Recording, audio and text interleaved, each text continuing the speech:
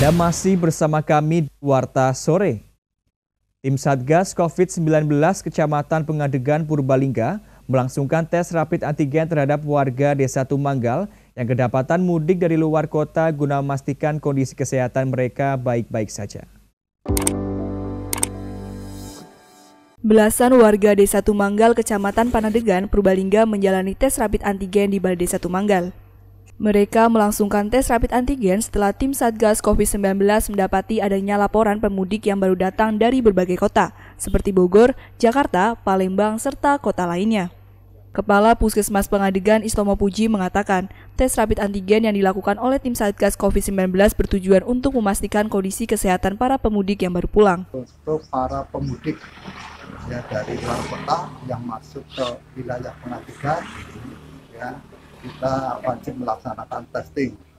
Ya, karena kita apa e, melakukan yang 3T nanti setelah dites dengan antigen kemudian nanti kalau ada yang reaktif jadi tanpa mungkin bergejala nanti ditindaklanjuti.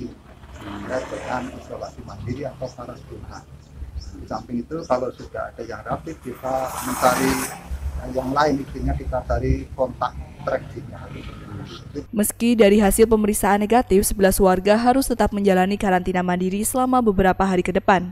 Langkah tim Satgas COVID-19 Kecamatan Pangadegan dalam melakukan tes rapid antigen terhadap para pemudik yang baru datang dilakukan sebagai upaya pencegahan penyebaran virus COVID-19. Dari Purbalingga, Tarnowo, Satelit TV, mewartakan.